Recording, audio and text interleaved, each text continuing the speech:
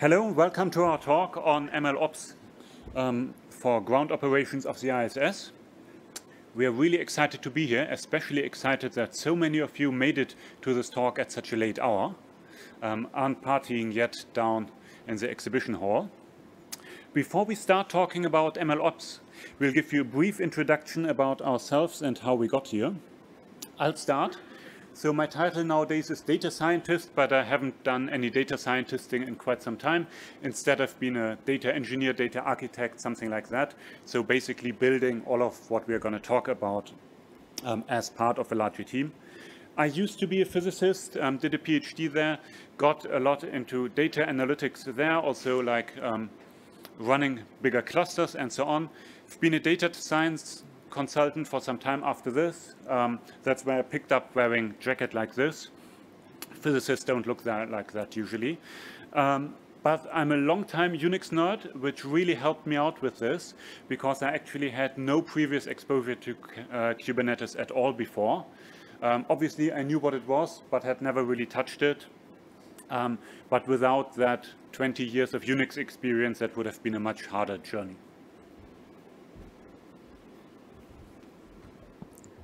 Hi, uh, I'm Samo.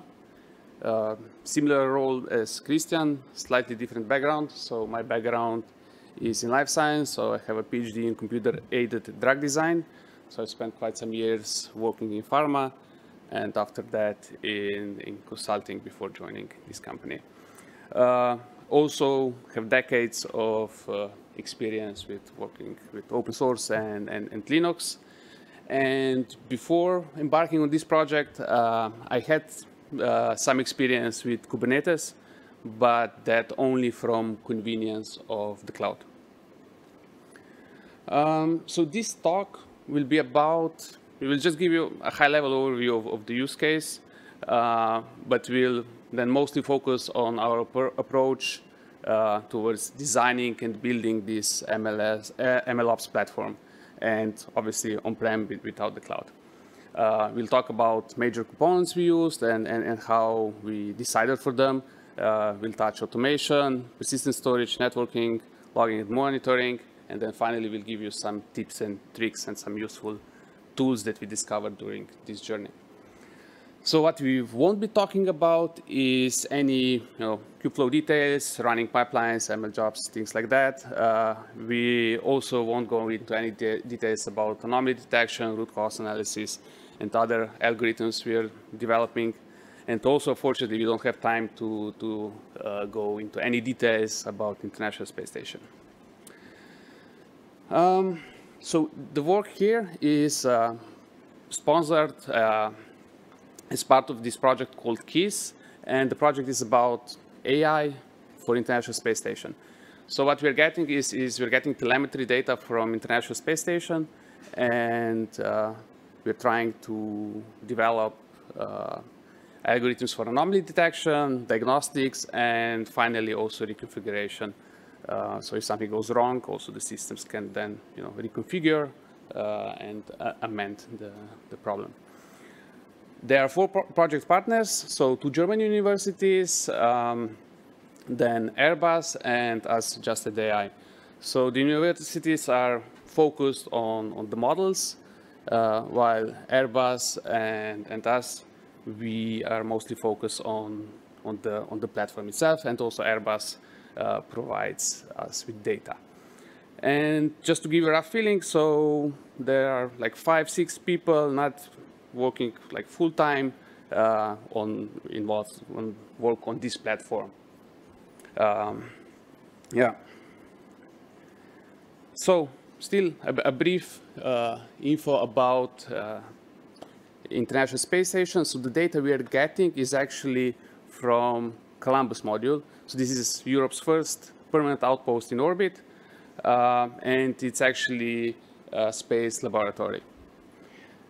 So it weighs 10 tons, takes up to 9 tons of, of payload, and it's 7 meters long.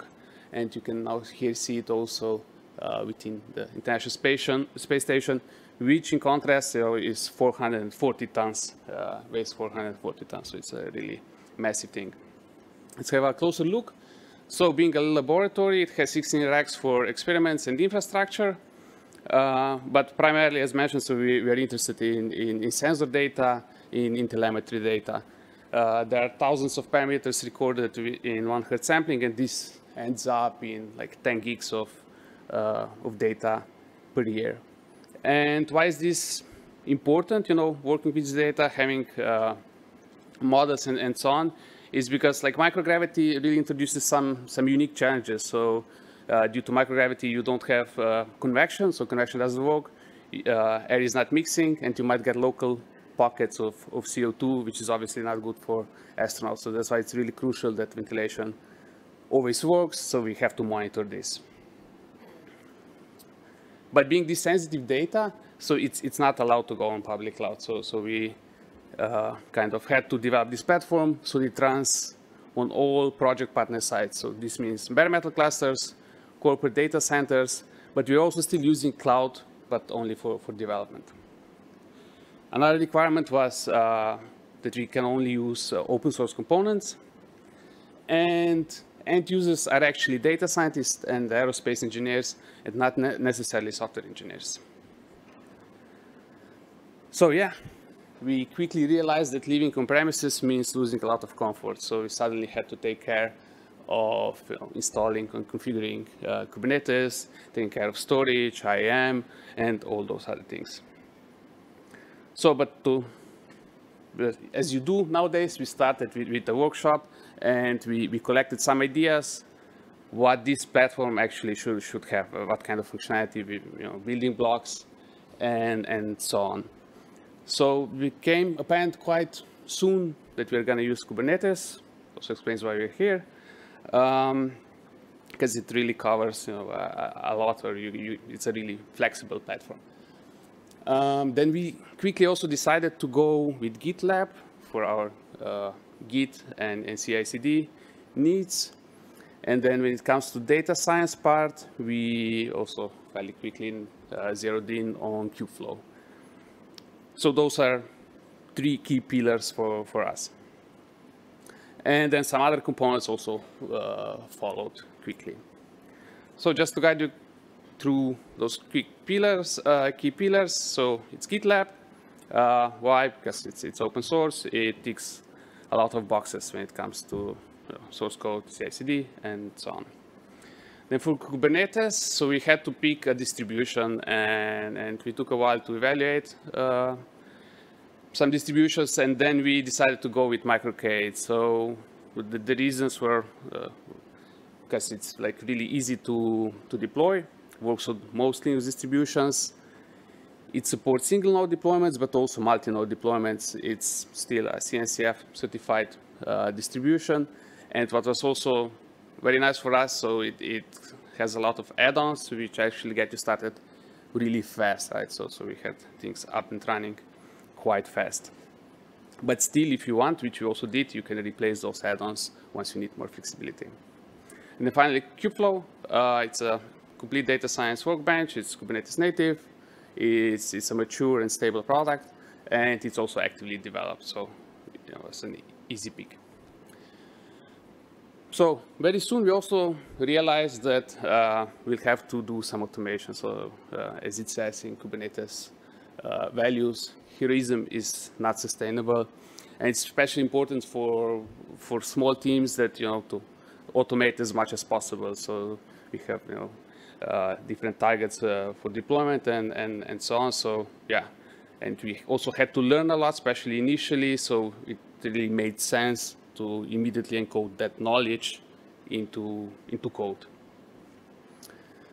Um, yeah, so our platform can be completely deployed. Uh, yeah, can be, so the deployment is completely automated. Uh, so we, we are hitting all those different environments. Um, why automation? So it enables quick iterations, so it takes really one hour for complete deployment from, from VMs to things running on top of Kubernetes, including Kubeflow. It's reproducible, it's also scalable, so it's easy to add uh, you know, new nodes, uh, deploy new environments, and so on.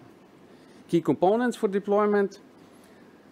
are for us uh, Ansible. So this is our tool of choice when it comes to infrastructure as code. So it's very nice. So you work with YAMLs, it's implemented in Python, supports templating. And what's also important, it's agentless. So you only need SSH uh, access. You don't need any you know, dedicated uh, daemons or, or control node. Um, then the ne next one is GitLab CI/CD. So again, you define everything in YAMLs. It's very flexible. You can build uh, software packages, containers, and then in the end also deploy to Kubernetes.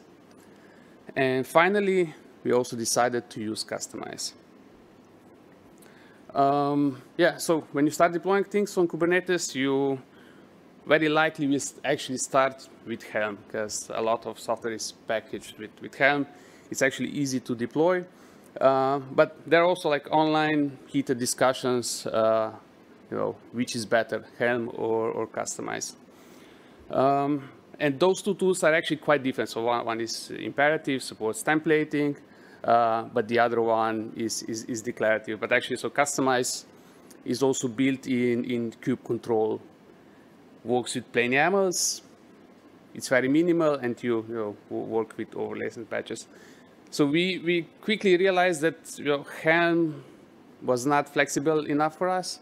So we, we decided to go with, with, with Kustomize because we needed to you know, customize more things that uh, you normally have available in, in that values.yaml. So how we do it? Um, so we, we have a separate repo for all the manifests. Um, and we try to get like official manifests. If those are not available, we render Helm chart, so using Helm template, and, and everything goes into, into this repo. Um, then on top of this, we have custom overlays uh, to do you know, changes we need. And then in the end, we simply use GitLab CI/CD to, to deploy, right? So kubectl apply minus k, and, and, and things are, are deployed on uh, our clusters. Um, also, a lot of software comes with operators, so if, if you have this option, go for that. It's going to make your, uh, your operations easier. And what we also do, we, we have a custom operator to handle dynamic changes. So, for example, if there are new, new users and so on, uh, actually an operator kicks in and takes care of some changes there. And for this, we actually just went with, with uh, shell operator because uh, it's really easy to implement stuff in it. Okay, so the next big thing for us was storage. Um, so storage, as, as you know, uh, was initially you know, not uh, really well supported in Kubernetes, or Kubernetes was not developed for, for stateful workloads. Um, but yeah, nowadays it is supported, um, and you will need you know, persistent storage. And there are two big types, right? So you have block storage and uh, object, object storage. And first, we, we, we, had to kind of wrap around our, our heads about uh, how all this works, right? And just to give you a, a quick uh, rundown, so you have persistent volume claims, you have persistent uh, volumes, and you have storage classes. And persistent volume claims, so, so those, those are claims, so that's uh, requested by, by, by pods. Uh, they're namespaced, and based on that claim, there, there is a persistent volume which is created either manually or, or dynamically, and, and that's a cluster resource, and that's then mounted in, into a pod. But behind the scenes, you actually have storage classes which depend on storage engine uh, or provisioner, and storage, storage classes actually define how your application and access mode works. So for our uh, block storage, we decided to go with OpenEBS ecosystem. So we're using OpenEBS hostpath and Mayastor. So Mayastor is for high availability deployments because we also do like single node deployments if needed. Um, Mayastor provides application, but needs minimum three nodes, and it's quite peaky when it comes to hardware performance. Um, yeah, and this is how our storage classes look like, right? So we, we have two Mayastor storage classes and one open OpenEBS hostpath. And final storage component uh, is MinIO. So this is the one that provides uh, S3 uh, compatible storage for us. We went with it simply because it was already included with Kubeflow, but we did update it to, to a later version. But newer versions are under AGPL license, so that might be a problem for some organizations, but, but for us, uh, it is fine and works well. And with this, uh, I hand off to Christian. Thank you. So let's talk a bit about um, how do we actually get users into the applications we host on Kubernetes. And here we use Istio. Um, we didn't actually choose that by ourselves, really, if we're honest, but that's also shipped via Kubeflow. Um, small team, we can't do everything ourselves, don't um, can't then also rip that out of Kubeflow. So we decided to go with Istio um, as a service mesh you can see some examples. Um, so we use that for routing also, um, so that, for example, slash min.io gets you to the web interface of min.io. Uh, we also use it then for authentication, which is also very nice. So if you don't know that, then if you are not logged in as a user, that will automatically um, redirect you to our um, identification provider, which we'll come to in a second. Um, but this doesn't really help us yet. How do we actually get users into a cluster? Because as you can see, at the moment, still is everything just running into the cluster. Um, originally, we first looked at something called MetalLB, but um, that seemed to be, at least for now, a bit too complex for our small team. So we did something like um, very simple. We just use Nginx um, as a proxy and have our users um, access Nginx.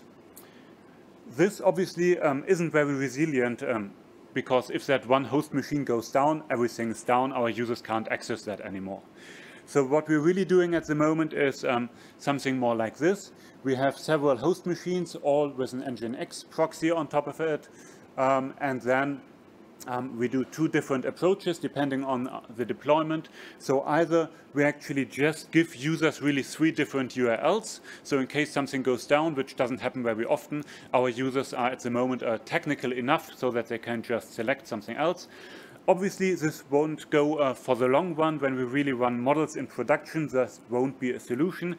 Um, then we might have to look into uh, something like MetalLB again, but for the moment uh, this, especially together with DNS failover, um, works pretty great. And we don't need that on every single um, node. Sometimes we uh, have like then bigger deployments or add some more nodes, which then don't come with Nginx on that. While we're at the topic of uh, networking, let's quickly talk about TLS. We can't go too much into detail here. But as probably all of you know, that's important and also important to get right. But on the other hand, it's also hard. And so some people um, might be just tempted to say, F we trust our users, um, let's disable that. We would say, don't do that. And if you've been to any of the security talks here, um, that opinion will probably be, have been confirmed there. So what do you do instead? You need to learn about TLS. Unfortunately, there really is no way um, around that. But then if you dive into it, it's really not that hard after all. Some topics you might want to pay special attention to is A, how does certificate signing work? And then also, how do you distribute those signed certificates to your hosts? We use Ansible for that as well. Um, and to distribute that, needed at different um, uh, places. So like on GitLab, but also then on our uh, Kubernetes nodes. And then you need to think about how do you get your certificate signed or by whom. So you can do that uh, self-signed, which we just use for our development clusters, which we spin up, um, well, daily, if not hourly. But then we also uh, use Let's Encrypt, for example, or have those um, certificates signed by um, the root certificate of the organization we are currently deploying to, so which could be Airbus or one of the universities. Um, unfortunately, this is about the time we have to go into uh, TLS, but um, as I said, important topic. What um, we also already somewhat mentioned is authentication. Here again, we use DEX because DEX comes with Kubeflow, And um, well, we, I've seen some people on the internet who actually managed to rip out DEX out of Kubeflow and use Keycloak instead, which we would have liked to do as well because Keycloak, um, there's just a lot more information available online, like more documentation, there are more, um, well, it's easier to connect it to something else. Um, so we would have liked to use Keycloak because then we can also like connect it to Grafana, for example, or whatever other applications we're using. And then on the other end, for example, um, use Azure AD or GitHub as an authentication provider or whatever. But luckily, that can really just be connected pretty easily so that Kubeflow itself keeps continuing using DEX, but DEX then talks to Keycloak, and then you can um, that way hook into whatever authentication provider you want to do. Um, that works then pretty well out of the box. Um, a note on Keycloak, at least the version we are currently using is not really um, Kubernetes native yet. So configuration is done via um, JSONs, which is pretty ugly. So currently what we are doing is we're configuring it um, via the web interface, exporting those JSONs and then loading them back into Keycloak. There are newer versions available that use an operator and also then custom resources and custom resource definitions. We haven't tried that yet, but it looks a lot easier to handle um, in the near future. Then let's talk quickly about um, how do you find out what's going on in your cluster. Um, especially so I've been to that exhibition hall down there and like every second booth seems to offer some observability options. Uh, we are currently not using something as fancy as that. So we went for Prometheus and Grafana also just because it's like uh, very easy, um, lots of documentation available, lots of people use it uh, resources available for almost everything. So um, for example, for Kserve, we which use for model serving, it's well integrated. Um, you get like pre-configured monitors and dashboards for almost everything you can uh, think of. So that is really very nice. And we're pretty happy with that. Um, we currently use uh, this uh, Kube Prometheus project to also monitor our cluster itself because also, we live on premises, and so we don't get that by our um, suppliers. And that is also very nice because it also comes more or less pre-configured. You just need to make sure to use the right version that um, fits to your Kubernetes version. Um, so we can highly recommend that as well. It also supports that metrics API that some software needs, for example, Kubeflow. Um, so full featured solution, very happy with that. We use a second instance of Prometheus to do application monitoring just because we did uh, try to mess as little as possible with that Prometheus instance by kubeprometheus.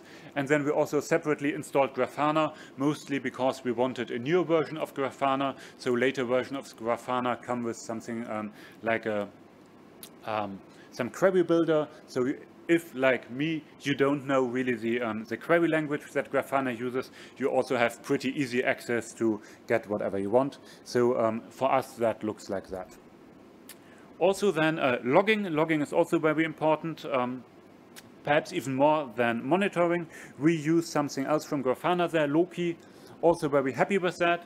And the users here are not only cluster admins, but also the end users. Um, I'll quickly give you an example for that. So in Kubeflow, if you start a job, for example, um, it's also a pod. And if that pod then gets cleaned up after some time, your logs are gone. But perhaps you just check after uh, on a Monday morning what happened to my job. Job failed. You would like to see the logs um, not there anymore in the Kubeflow user interface by default, but then you can very quickly find it in Loki. We here use also um, like a bigger set like um, PLG, which is short for Promtail Loki Grafana, but also we don't use that Grafana there just because we want one unified interface. So that looks then in total like this for us. And um, if you've been at the talk before, so we also use um, Postgres, actually the same operator that uh, Karen talked about before. Um, but also there, we don't use that Grafana that comes with that, but use uh, just one Grafana instance to just get all the data we um, want in that instance. So um, one big component we haven't talked at all here is really Kubeflow, and we're not going to go into detail here. Obviously, we really like Kubeflow, otherwise we hadn't uh, decided to use it as like the main um, machine learning ops component of our platform. And our users also really like Kubeflow, especially like the pipelines I just mentioned. Um, perhaps after a bit of an initial hesitation because it's a bit more complicated than just using a Jupyter notebook. Um, now they really um, start seeing the value in that and are excited about that. But what's also very good about Kubeflow is that it's very flexible. So if it doesn't exactly fit to your use case, you can very quickly um, make it fit to your use case. But on the other hand, that flexibility might also mean that the defaults are not exactly where you need them to be. And so that means um, Kubeflow can be modified rather easily, but perhaps also should be modified to actually um, get that out of what you actually want. Um, some examples, so limits, for example, for users are not there.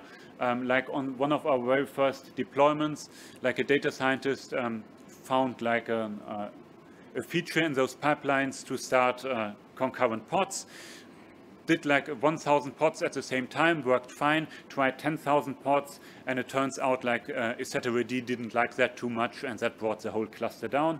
So um, since then, we set some users, not done by hand, but uh, by that operator that we wrote that Samo mentioned earlier. Um, then there are quite a lot of default containers there, but they also might not be exactly what you're looking for. But also there, it's pretty straightforward um, to get like your own default containers, which you can then also expose to your users that they can uh, get like something that's a default perhaps for your organization. Stuff like um, access to those Kubeflow pipelines isn't also there by default like pod defaults, but we also supply that and would recommend you do that as well. In general, the documentation around Kubeflow perhaps isn't the best. Um, we probably could contribute more and we just started with that. But what is very nice is like the community, there's a Slack channel um, and people are really very, very helpful. So if you um, have any problems, um, reach out there. Can only recommend that as well. We're coming to more or less the end of the presentation. And before we um, go, we would like to leave you with some tips and tricks. So as you can see, we had quite a bit of fun uh, with Midjourney there. So all those um, like pictures are generated by that. Uh, some ideas on debugging. So we also use kube control logs and exec a lot, um, but then also we like uh, K9S and Lens very much to have a look at what's currently going on in your cluster. Then we can highly recommend a YAML validator for your IDE. So at least Sam and I are both using um, something from Red Hat. Uh, it's called, I think, YAML Language Server, which is part of that LSP ecosystem, which means like more or less no matter what editor you're using, you can uh, use that to get your YAMLs validated on the spot. Then we really like JQ, YQ to pre-process some YAMLs, perhaps even before we uh, do deployments. So um, make something fit the environment variables we set and so on. Um, so then reminder, check your hardware requirements. So especially Mayastor really wants uh, like low latencies, for example. Version requirements might also need to be checked. Um, something that we didn't do from the start, so MicroK8s, for example, doesn't come with RBAC enabled from the start, but you need to manually enable that. We started without that and then um, enabled that later. That led to some issues, which would have been like much easier to fix, I guess, when we um, had that from the start. We already mentioned shell operator, but also a um, tool we would like to recommend is BATS, the Bash Automated Testing System, which we use to test the whole platform in itself. Finally, like one of my um, like least favorite bugs we run into is that if you have huge pages enabled on your host's machine, which we needed to where we run a Mayastor, then Postgres might have some issues if you don't explicitly give it um, huge pages like you can see on the right. So if you have issues like that, um, have a look. At least we didn't find the error messages there too helpful. And I think it's a bit of a discussion whose fault it is, if that's Postgres or the Linux kernel's fault, um, but it seems to get fixed. So this brings us to more or less the end of our presentation. Let me quickly summarize. We showed you how we built an MLOps platform, what Um, what components we choose, not all of them, obviously. So um, there's like lots of topics we didn't uh, touch at all, like secrets management, um, like how do we do upgrading and stuff like that. But not everything is possible, like in uh, 30 minutes we have. Um, some key takeaways, we already mentioned the first one. Automate as much as possible, especially if you're in a small team. Like one day invested now might save you like a week or more later. So um, we would say definitely to do that.